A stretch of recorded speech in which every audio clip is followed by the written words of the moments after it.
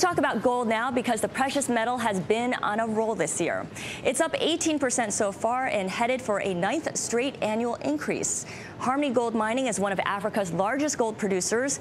The company's first quarter production beat expectations.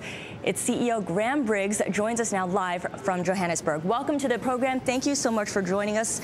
Congratulations on the earnings report. In your report, production rose, but so too did labor costs. How do you plan to bring this down? Thank you very much. Yes, a, gr a great quarter, in fact. Uh, we have our labour increases in the 1st of July of every year, and, uh, and really uh, it is close to a 10% increase. That happened, and uh, there are a few once-offs in that.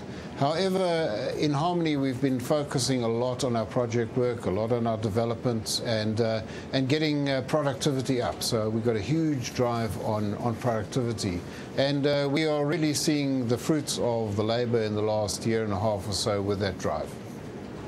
It's not just labor costs. Electricity costs are also going to rise. Do you have any more plans to sell operations, cut staff as you increase productivity?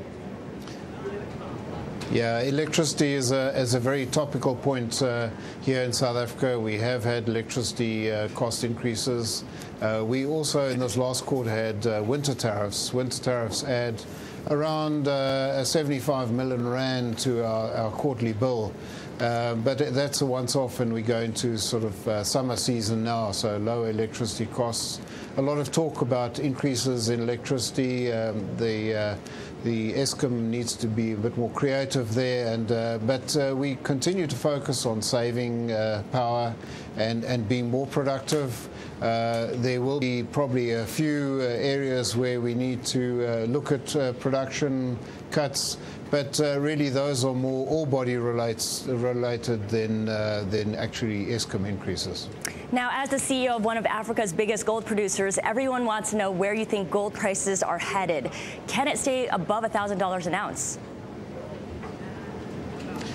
Yeah, yeah I, I, mean, we are a gold company management, and therefore we're very bullish on gold. So there's no doubt about that. And uh, we, we reckon that uh, sort of the 1050, 1050 uh, gold price is probably great for now, but we do see it going up. Uh, the fundamentals are all in place with uh, reduction in, in sort of output from uh, global producers and so on.